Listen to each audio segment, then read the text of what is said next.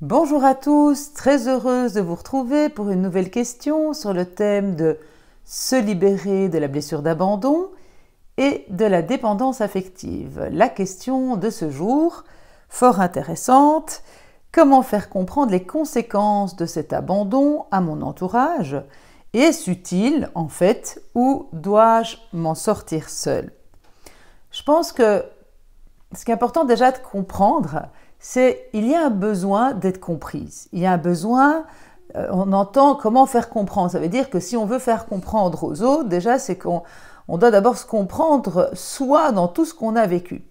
Parfois, on va dire que l'entourage est vraiment apte à entendre ce qu'une personne vit, a senti, a vécu.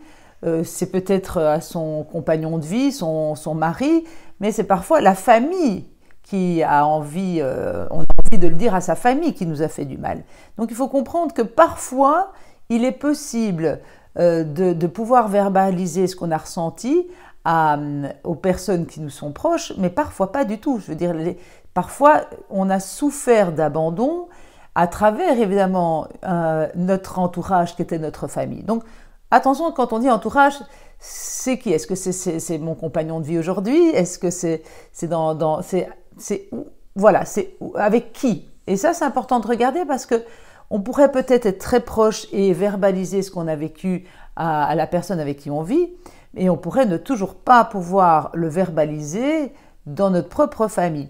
Pas pas que c'est pas nécessaire, c'est pour ça que je dis est-ce que je dois m'en sortir seul L'idée n'est pas de s'en sortir seul, c'est d'avoir évidemment un soutien. C'est pour ça qu'un travail thérapeutique peut aider à, on va dire, euh, ressentir une fois dans sa vie, d'être écouté, d'avoir de la présence. Parfois, on a tellement manqué de ça, ou on n'a tellement pas été comprise qu'il est nécessaire parfois dans la relation thérapeutique de vivre cette expérience. Parfois, évidemment, notre entourage, c'est-à-dire la personne qui nous est proche aujourd'hui, peut entendre ce que nous avons vécu, mais parfois la personne avec qui on vit n'est pas capable d'entendre parfois les souffrances qu'on a vécues. C'est pas pas si simple. Donc parfois on, va dire on va ménager. Donc c'est pas je dois ou je ne dois pas.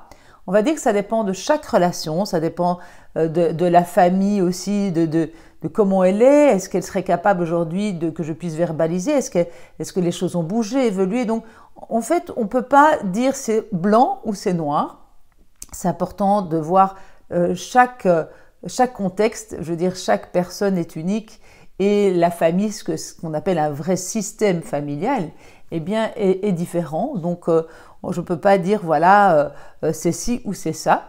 Par contre, ce qui est important, c'est de dire, voilà, j'ai un besoin d'être compris, j'ai un besoin d'être écouté. Est-ce que je peux le verbaliser ou pas? Je dois aussi sentir, voir comment l'autre le ressent, parce que voilà, parfois l'autre peut anesthésier dans le déni et parfois ça fait encore plus mal. On se dit voilà, je vais dire à ma famille ce qu'ils m'ont fait vivre, mais après la rage, la frustration est tellement forte quand on le sort que c'est inaudible pour la personne qui entend et au lieu d'ouvrir quelque chose, ça referme encore plus. Mais ce qui est important, en tout cas, ça c'est certain, c'est de libérer toutes les tensions, les énergies qui sont encore en nous euh, par des moyens, des méthodes thérapeutiques, mais en tout cas de ne pas garder ça en vous, ça c'est certain, parce que c'est pas bon. Ça, on va dire, c'est comme si c'est quelque chose qui, qui gangrène à, l'intérieur de soi, et ça c'est pas bon. Donc il faut faire sortir ça, mais il n'est pas obligatoire de sortir ça à la personne ou à nos entourages. Pas, ce n'est pas toujours euh, nécessaire. Voilà. Eh bien, si vous avez des questions ou des commentaires par rapport à ce thème et si euh, donc n'hésitez pas de le mettre en dessous de cette vidéo et puis si vous n'êtes pas encore abonné à la chaîne Enquête du bonheur, surtout je vous propose de le faire afin de recevoir toutes les notifications. Et eh bien au plaisir de vous retrouver très prochainement pour une nouvelle vidéo. Au revoir.